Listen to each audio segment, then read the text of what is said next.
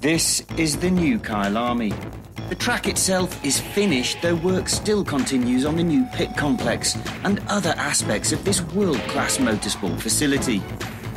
The major changes to the circuit layout take place at the end of the start-finish straight, which now has a much faster kink before some heavy braking into a tight left-hander.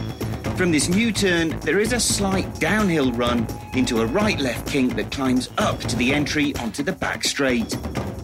Thanks to an invite from Kyalami and Ducati, Don and I were granted the very special privilege of being the first riders to put in a few laps. With Don on the new 959 Panigale and me on the 1299S because, well, he's quicker than me, we can show you what a lap of the track looks like. Speeds will be higher than ever at the end of the main straight, and braking will be heavier too, because instead of a sweeper, the next turn is really rather tight. As soon as you're back on the throttle, it's time to flick right and then left before lining yourself up for the familiar drive onto the back straight.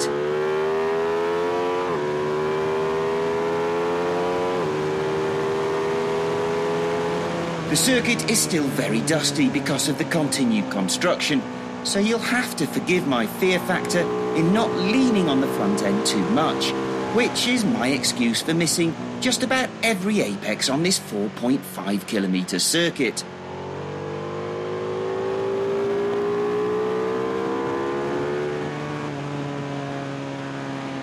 Anyone who's ever done a lap of Kyalami will recognise what's happening now, because although the corner names may have changed, this is very much the same layout as it always was, except that now it is incredibly smooth, something that is particularly noticeable through the S's and up to the old West Bank, now known as Leeukop.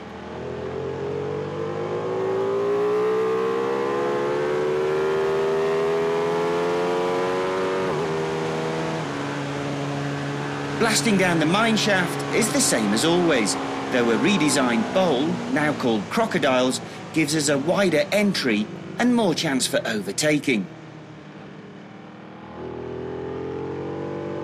From here, there is a very slight kink to the left before the fast right-hander into the final turn, Ingwe.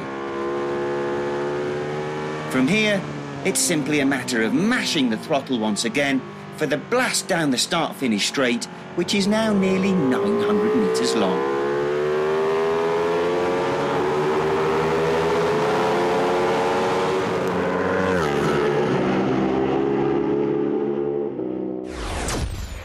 So, tell me, you were on the 1299, I was on the 1299, yeah. and you were on the 9... 959, yes. And you still couldn't catch him?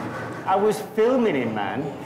No, I couldn't. That's always his excuse, even when he doesn't have a camera. Well, listen, Donovan's got the crib sheet. There are some amazing figures, aren't there? I mean, let's talk about the cost of the circuit in the first place. Yeah. Now, this track was bought by Toby Venter. He's the same guy that owns Porsche South Africa and Ducati South Africa, hence we're on Ducatis.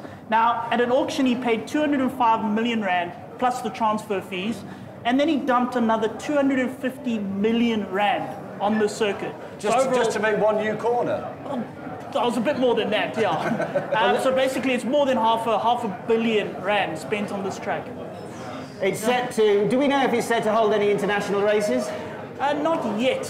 Uh, I can tell you though that the first ever event that's going to be hosted at this new track when it's completely finished is going to be the South African Bike Festival. So it is a motorcycling event that's going to be the first event at this track. And the South African great. Bike Festival, in case you don't know, that's basically what used to be called the old Amid Expo, isn't it? Yeah. So we didn't have a show last year, but this year it's coming back in force. And I think part of the attraction is going to be that if you pitch up to go to the to the show, you'll be able to ride the track. Yeah, they you? do have a whole lot of demo bikes. You can sign up, you can ride around this. You will be one of the first people in the country to ride around the brand new Kyalami. That's at the end of May. At the end of May. Okay, so what do we think, Don, having ridden it? Is it going to make for better overtaking? Are we going to see more action there? Well, one of the great parts is right here. You're coming down the straight. Now, previously there was a bit of a sharpish kink, and then it's immediately a left-hand sweep, which didn't really make for good overtaking. Now you go through that kink, it's, it's broader and it's slightly straighter, You keep the throttle open for maybe three or four seconds longer, and then you're into actually a hairpin bend over there. And So- look, even when yeah. we rode it, the track was very, very dusty indeed. We, you know, the traction control was kicking in, so we couldn't get the drive onto the straight, and we had to brake a bit early. Um, but we were still hitting nearly 280 k's an hour. It at was the end of the around 280. I reckon a full-on race bike with a more athletic rider will probably get close to. More than both of you.